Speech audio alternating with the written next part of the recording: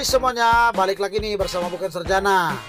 Jika kita melihat orang-orang Yahudi di internet, TV, media sosial, dan sebagainya, pastinya kita melihat mereka sering memakai pakaian yang seragam. Hampir semuanya memakai jas hitam, panjang, dan topi. Tidak hanya itu, mereka juga memanjangkan jambang-jambang mereka. Hal ini tentu membuat kebanyakan dari kita yang non-Yahudi penasaran.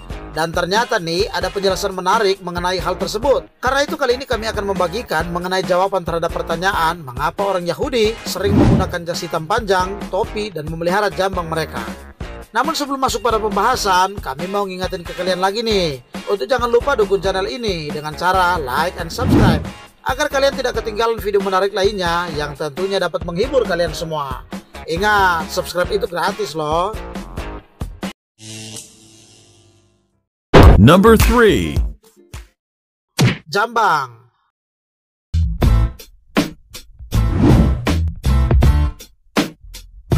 Jambang oleh Yahudi disebut sebagai peot. Kata peot yang juga disebut peot, peat, payot adalah bentuk jamak dari PA. Kata PA artinya sudut atau samping.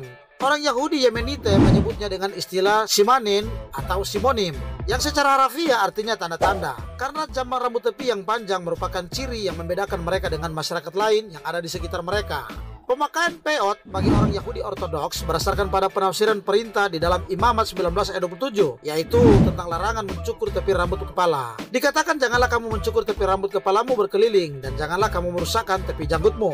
Nah, para rabi Yahudi menafsirkan kata peat di ayat tersebut sebagai rambut di depan telinga yang memanjang sampai ke ujung tulang pipi, sejajar dengan hidung. Karena itu mereka tidak mau memotongnya, bahkan membiarkannya sampai panjang melebihi tulang rahang. Beberapa orang memanjangkannya sampai di bawah telinga, sementara yang lain sampai ke sisi telinga, yaitu tempat di mana tulang rahang atas dan bawah bertemu. Biasanya, mereka harus berkonsultasi dahulu kepada rabi mereka mengenai pendapat mana yang harus diikuti. Meski diizinkan memangkas peot atau jambang, beberapa terutama di kalangan hasidik tertentu, mereka memiliki kebiasaan untuk tidak memotong peotnya. Ada berbagai alasan lain tentang peot. Ada yang menyembunyikan di belakang telinga, ada yang membungkusnya di sekitar telinga, atau memutar-mutarnya sehingga panjang. Beberapa kebiasaan ini didasarkan pada ajaran mistis, sementara yang lain lebih didasarkan pada norma masyarakat. Number 2. Jas hitam panjang.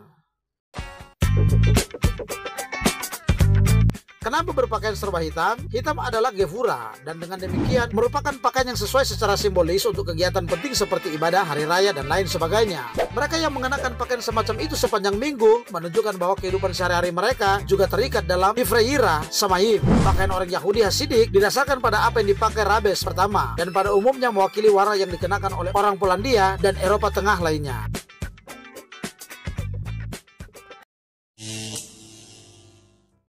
Number 1. Topi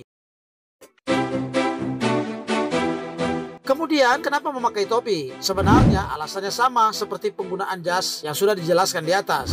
Topi yang banyak dipakai oleh orang Yahudi ini disebut dengan fedora atau homburg. Karena dahulu pada abad ke-20, pakaian jas dan topi fedora menjadi pakaian umum oleh orang-orang Eropa sehingga komunitas Seredim dan Yahudi Ortodoks lainnya menjadikan mode fashion ini sebagai pakaian khas mereka sehari-hari. Mengenai topi, ada satu jenis topi juga yang memang harus dipakai oleh Yahudi yaitu yarmulke atau kipa, semacam peci bulat yang mirip dipakai juga oleh umat muslim dan juga dipakai oleh paus di Vatikan. Topi mirip setengah bola ini dipakai sesuai perintah agama mereka untuk menutup kepala. Kipa ini tidak saja dipakai oleh kaum Yahudi Ortodoks, melainkan juga Yahudi konservatif, Yahudi modern, bahkan penganut Zionis. Jadi selain memakai topi fedora sebagai pakaian khas, mereka juga memakai topi kipa sebagai bagian dari tradisi dalam agama mereka.